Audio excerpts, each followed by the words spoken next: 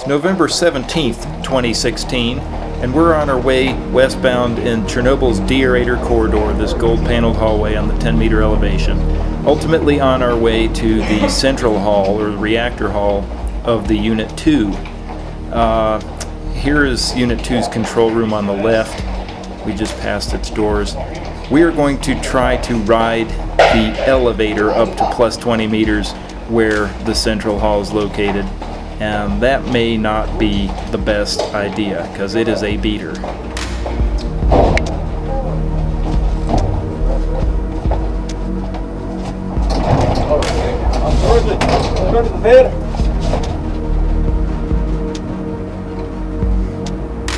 And it drops.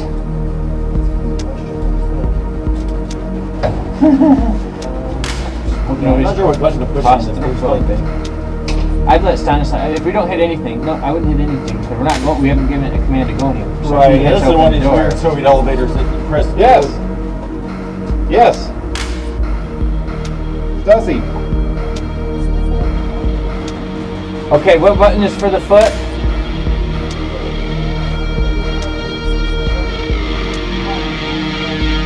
All right. There you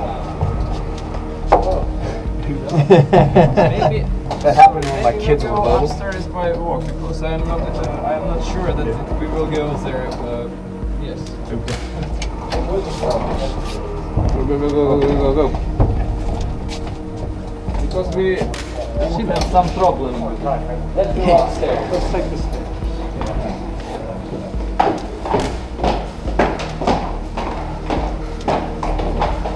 I'm afraid that. The elevator. Is possessed. Yes. So we'll work our way up this stairwell to uh, the 20 meter elevation and get off uh, there to go visit the central hall. Um, this is uh, our escort here, Stanislav Shekstelo, uh, the long-term employee here in the information department at uh, JNPP. He's uh, he's been here since the days that this was an operational nuclear power plant.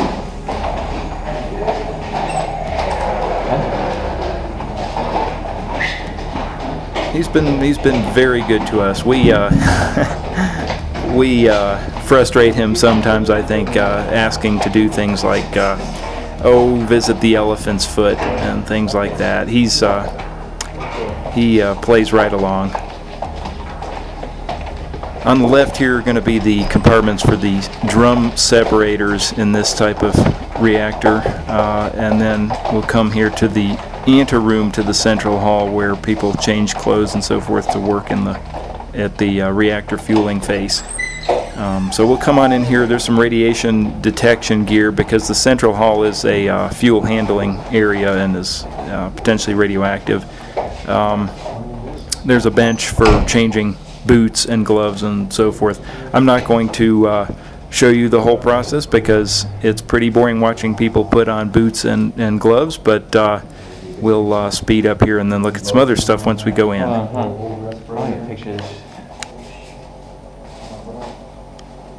So, and also respirator.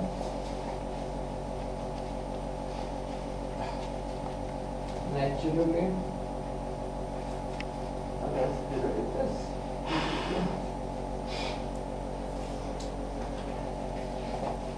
So be attentive, please, during our, so, uh, being here in the reactor hall, be very attentive, please, usually, as usually. Yeah. Yes.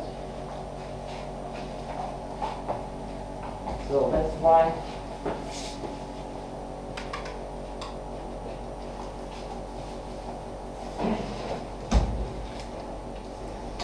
It might be backwards. Huh? Yeah.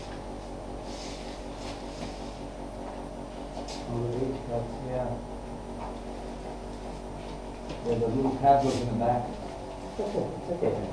I know. It's better to do it like this because they are too big. Uh, It's not 45 or 43, you see? yeah. Can I small again?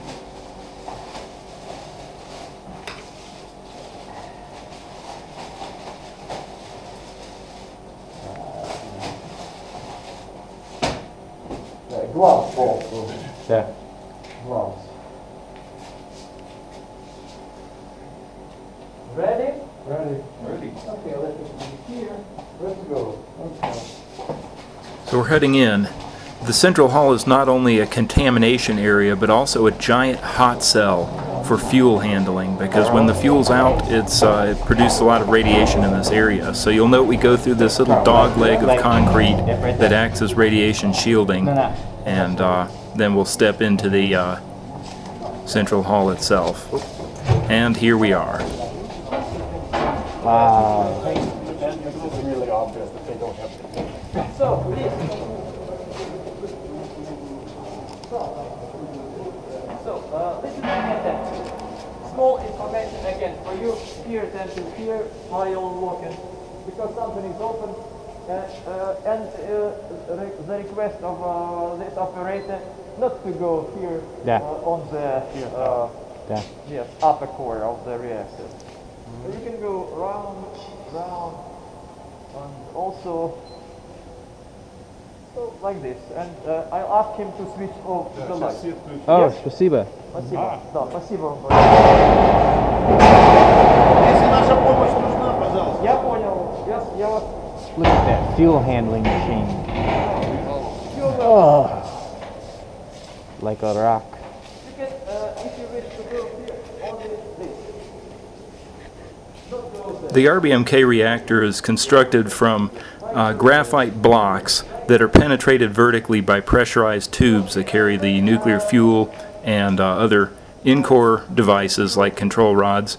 And what we're looking at here is the top plate of the reactor where it's been penetrated by all of these channels and uh, there is a protective heavy metal cap over each of the channel penetrations to protect it from mechanical damage.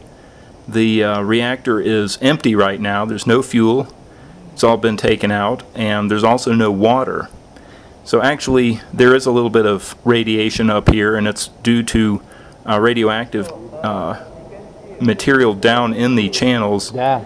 uh, and the radiation is streaming up through the empty channels and uh, up to the fueling face where we are now. Over here on the side are a bunch of heavy steel plates that cover up the steam water pipelines from the upper part of the reactor and uh, they will go under the wall on either side of the central hall and uh, bring steam to the drum separators. Wow. Over here are some caps for the uh, technological channels. They're a little bit radioactive just because of their proximity to, uh, you know, dirty stuff. But uh, they again provide mechanical cover to the uh, to the channels up here on the uh, core face. We're going to go ahead and pass between the two spent fuel pools. There is no fuel in these pools. It's all been taken out to ISF 1. Um, what you see there, we'll take another look at later. Those are uh, what I call stringers. They're the uh, holders for things that are inserted into the technological channels. It's all back there. And there's some other ones. These are presumably not used. Uh, they're not being held in the uh, in the spent fuel pools. But you can see the little fixture by which the refueling machine grabs the stringer and, and pulls it out. And ordinarily there would be fuel on the other ends. There's two three and a half meter long bundles end to end. And here's where fresh fuel is stored in preparation for use. Uh, also down at this end of the reactor hall is the um, the transfer corridor for fuel. It's just to our left here, and uh, this is where new fuel is brought up from below uh, when it's shipped in, and also used fuel can be taken out in a cask. Uh, good view here of the the uh, the stringer assemblies. This is the top end of the stringer where the machine would grab it. We'll go take a look at some other stuff uh, and here in the uh, central hall. So I'll go ahead and cut the uh, cut the clip here. Light's coming. I'm just waiting. This is the spent fuel storage area in the number two reactor, and I want to be clear there is no fuel remaining here. In fact, there's no water in the pool at all. What we have in the pool now are the upper uh, assemblies, the the stringer assemblies that would hold fuel in the technological channel if you had uh, the fuel in there. But uh, these stringers are obviously, as. I said, not loaded with fuel. But they are radioactive, uh, which stands to reason because they're so close to the operating parts of the reactor. And so Lucas has called me over with the ion chamber to uh, look at a hot spot he found here, and uh, we're gonna we're gonna see just how hot it is.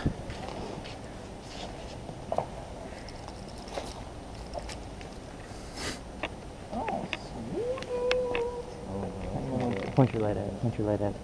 Point your light at it. My life? No, his light. He is the hottest It's this one right here. Hang, hang, hang there for just a sec. And that's the one right there. You'll notice all of these stringers have a uh, a nose on them, a little uh, catch that the refueling machine can grab onto in order to drag it out of the channel. It's really uh, it's quite a clever way of uh, doing things. Incredible. And this spot right here that we're measuring, um, we're measuring two roentgens per hour. And, you know, this is a power plant that's known for having a lot of spicy stuff around. So two roentgens really not that high, but it's something. And this is, I should be clear, this is very localized. This is not coming from the bulk of all of these uh, these stringers that are parked here. It is um, it's some sort of fuel flea or just a local bit of leakage or contamination on that one spot. And uh, so yes, the dose rate's a little bit high, but it's at least as far as this power plant is concerned, it's it's really not much at all. Stanislav, how many times have you been in in here? Many? Yeah. Is it okay if I walk up on the scaffolding now that everyone is down?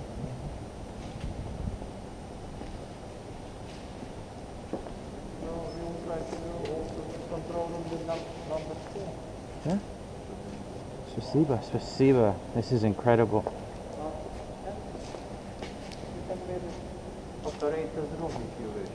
Oh, this this one right here? Yes. So now we're going to go up and look at the uh, refueling machine operator's room. And as mentioned before, the central hall of these reactors is basically a large hot cell because when spent fuel comes out of the core into the uh, refueling machine, there's a lot of radiation in here. And so the operator sits in a little booth behind a leaded glass window, and we'll go take a look at that shortly. But uh, right here while we're up and have a up on the balcony and have a good look down at the core i'll just mention a few things there are about uh, 2000 penetrations vertically through the rbmk core and some 17 of them 100 of them carry uh, nuclear fuel these are the so-called technological channels and uh, and then we have about 200 more that contain control rods of various types uh, the control and protection system uh, has rods that descend from the top of the core. It has short absorber rods that come from the bottom of the core. There are rapid uh, shutdown rods, the BAZ system rods that come from the top, and there are uh, are regulating rods as well as emergency uh, shutdown rods in multiple systems. It's really quite a complicated arrangement. And in this reactor, at least, and in the number three unit at uh, here at Chernobyl, one channel that belongs to the control and protection system has actually been set aside for uh, radi- uh, for neutron doping, activation doping of uh, silicon, and we saw that channel uh, in uh, the control room. It's uh, it's um, uh, servo indicator indicated that it was being used for silicon rather than a normal control and protection system channel. And um, here in the photo you can see exactly which one that is. Now we're going to go into the booth here where the refueling machine operator sits and you can see the window that that operator looks through when he's when he's working.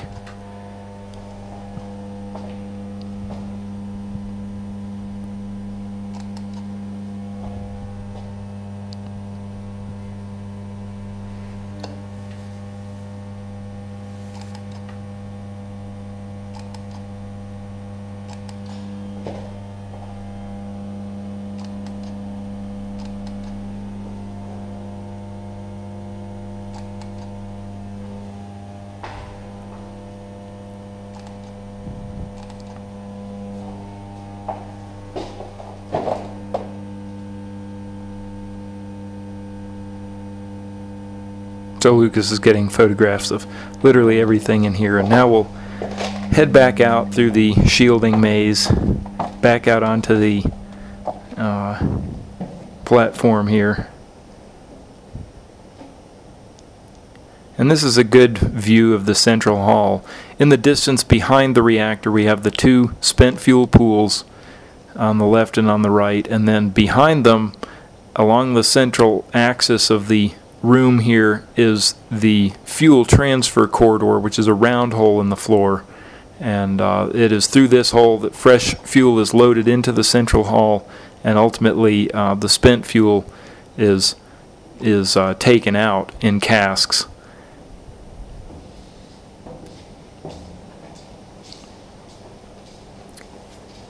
Anyway, I think that is a good overview of the uh, reactor fueling face in Chernobyl Unit 2. This reactor has been offline since the uh, since the accident in 1991 that um, that basically destroyed all of its uh, its number four generator and its its feed water pumps. And it was a political decision not to restart the number two reactor, but to leave it shut down. And it's been that way ever since. So the history of this place, even though the lights are on and it's quite uh, quite pretty in here. This this has been a shut down nuclear reactor since before the Soviet Union came apart. So there are many people alive who uh, who have been alive for a shorter period of time than this reactor has just been sitting here. And um, so in the nuclear decommissioning business, things take a long time. And uh, the number two reactor uh, here at Chernobyl has been just sitting in this defueled state now for, for quite a long time.